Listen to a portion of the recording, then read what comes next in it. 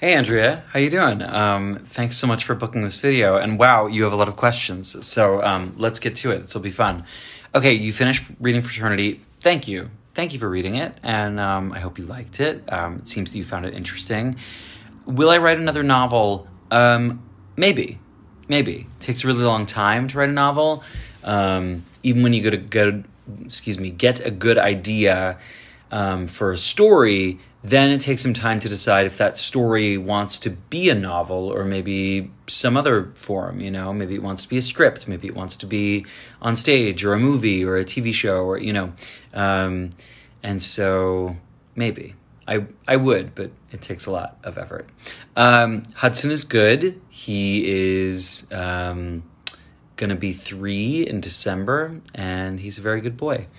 Um, what interest inspires you most about the occult? Um, I guess I'd have to say that it's the the antithesis of the church. That like I find the church to be pretty troubling um, as someone who was raised Catholic, and um, I like that it is um, the enemy in their eyes um, because you know the enemy of my enemy is my friend.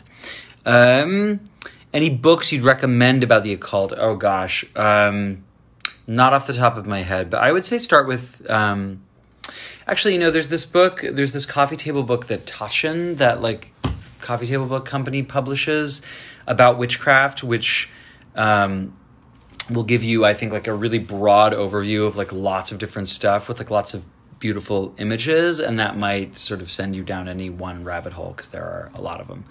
Um, could you do a tarot reading? I will do one card because um, normally that takes up an entire video to do like a reading. But let's draw one card for you. Here we go. Ta-ta-ta-ta-ta-ta. Okay, you've drawn the Queen of Wands. Um, she's the kind of charismatic person that like can just sit back at the party and everyone wants to come to her. She is like warm and engaging and um, you know everybody's friend she's popular she's magnetic. And so that energy is available to you. So um, you know this week like just trust it. Let people come to you. Um, you got this. Um, be charismatic.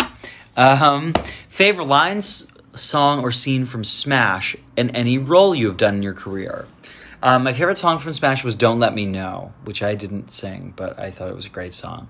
Um, how excited are you for Parade at City Center? And what do you hope the audience will take away from having seen it?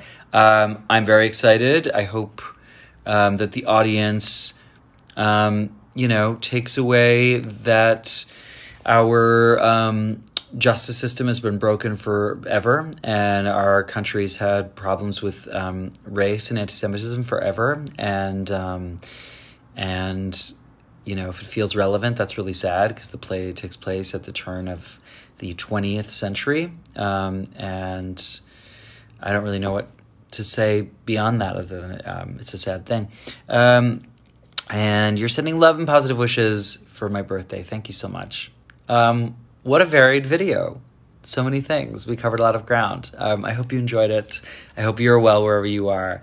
And um, cheers. Bye.